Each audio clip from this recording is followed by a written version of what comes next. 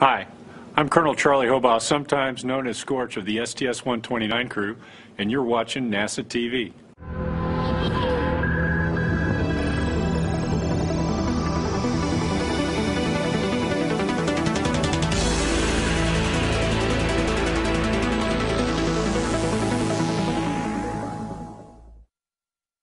From Launch Complex 39 at the Kennedy Space Center in Florida, this is Shuttle Launch Control at T minus three hours and holding.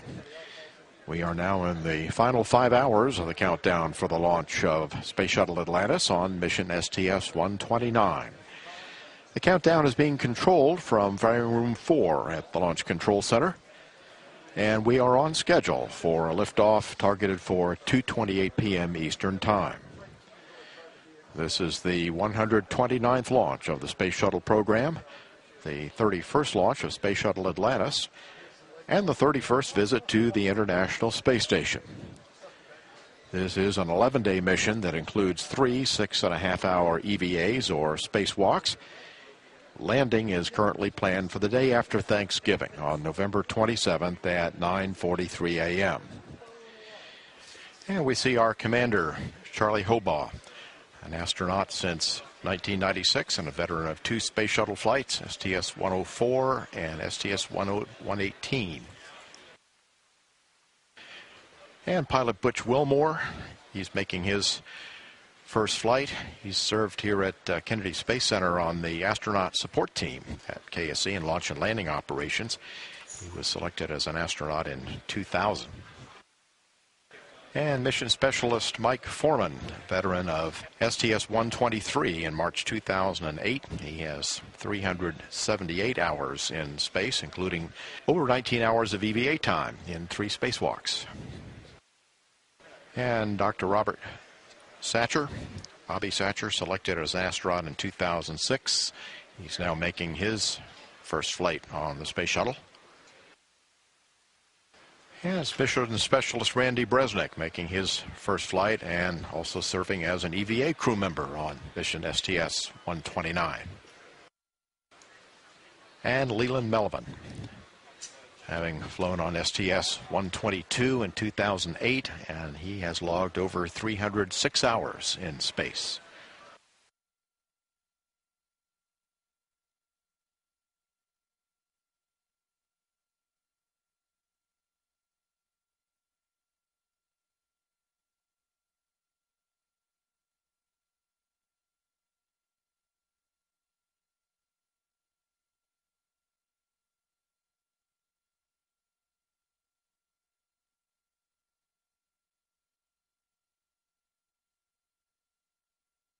Here are our six astronauts.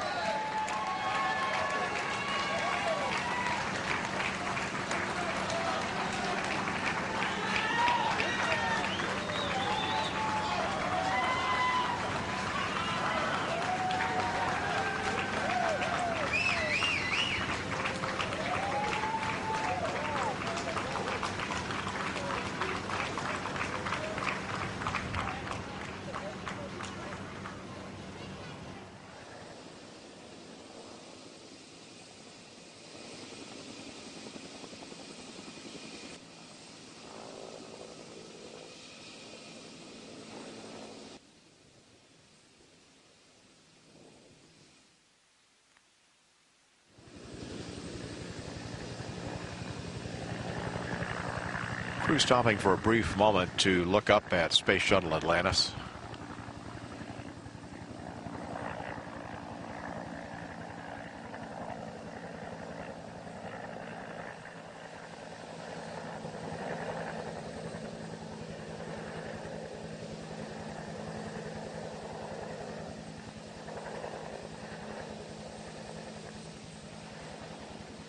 That picture is actually looking all the way from a camera on the roof of the vehicle assembly building.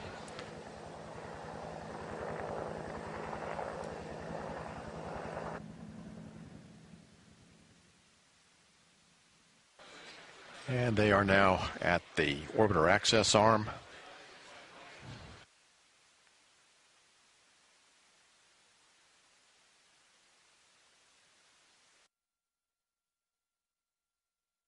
And uh, we can see uh, Charlie Hobaugh coming in now. This is Charlie Hobaugh, also known as Scorch, a Marine Colonel, who's the uh, commander of this mission. He's uh, helped get suited up here by um, Travis Thompson, who's number four on the closeout crew. Travis is a longtime closeout crew member. He's been doing it for over half the shuttle flights, and he's helping uh, Charlie get, get his uh, harness on before he goes in. And there he's being helped into his seat. Yeah, we can see here, as I talked about, uh, you can see that there's both guys in there happen. That's Joe Acaba has the uh, has his hand on his head there, and that's the astronaut that's in there. You can kind of see Drew's leg on the bottom there. He's going to get up here and start helping Scorch uh, get everything all settled. And Joe's job at this point is essentially to help Drew. Drew is the suit insertion tech, is responsible for getting uh, Charlie all strapped in, all set up correctly. And Joe essentially is helping him. You'll see him handing the, the parachute straps and the comm gear, uh, help with the helmet. Uh, you saw him protecting Scorch's head as he got into his seat to make sure that we don't injure a crew member. So it's a very difficult process with these bulky suits to actually get on board and get in the right place. And so it really helps to have two folks. Yeah, let's see who we got uh, here now getting ready to board Atlantis. Okay, we've got a couple of them lined up. Closer to the hatch there is Mike Foreman, and he's going to be the first guy onto the mid deck. We kind of do a flight deck, mid deck, flight deck, mid deck as we go through, uh, because obviously it's it's very difficult to get more than one person strapped in at a time. So you can see George Brittingham, who's number seven there. He's the insertion tech for the mid deck.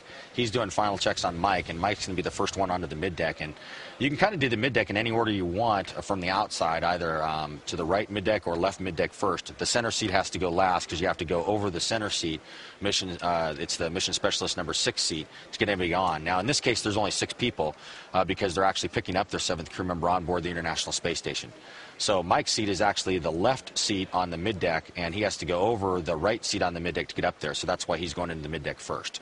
Um, so you can see him saying goodbye to Travis, waving to everybody, and uh, getting handshakes from Jack Burrett and everyone else on the closeout crew before he goes on board.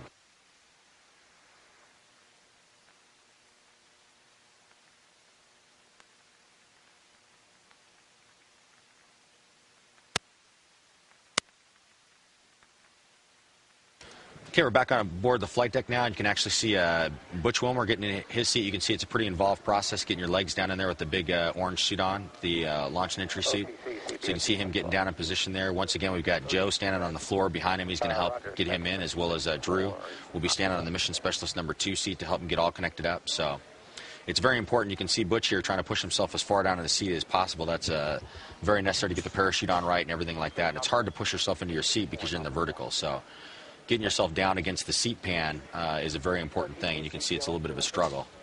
Go ahead.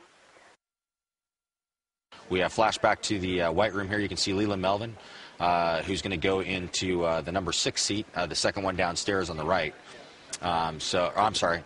Um, Bobby is going to the second seat on the right downstairs. Leland came in. He's going to go on the rightmost seat on the flight deck. He's uh, mission specialist number one going uphill. So he's actually uh, going to go there. Once they're done with Butch and they're no longer standing on those seats, we'll get him across the mission specialist number two seat into mission specialist number one seat. Okay, so now we have Bobby Satcher going into the mid deck. That means Mike Foreman's uh, strapping is complete. It's a little bit easier on the mid deck today, only having two crew members. Uh, so it takes a little bit less time. You got more room to maneuver down there because there's only two seats. So that goes pretty smoothly on days like this. The third seat coming home is going to be uh, filled by Nicole Stott, who's really the first member of STS 129. She launched on STS 128 back in August, and she's been on board the International Space Station now for a couple months. And she'll be the seventh crew member coming home.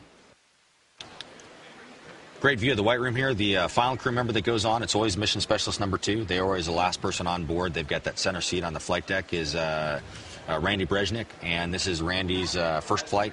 He's a rookie on this flight. He's doing a couple spacewalks. He's also the intravehicular crew member on one of the spacewalks and doing some robotics work. So this is his first trip into space.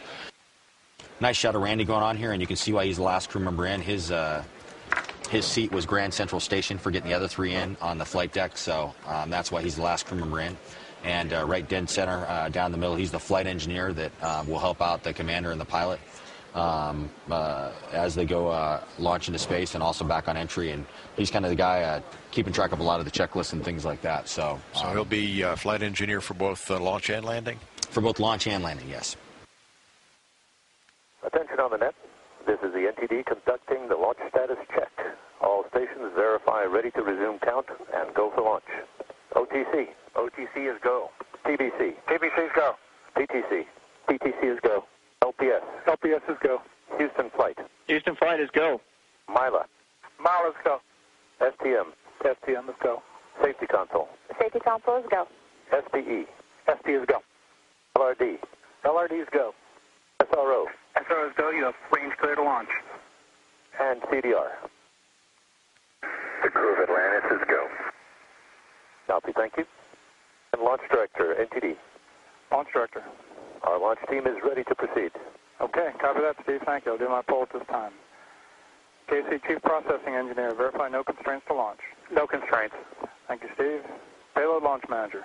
Mike, the ISS ground processing team is ready to go. Okay, thanks, Bill. Appreciate that. KSC Safety Mission Assurance.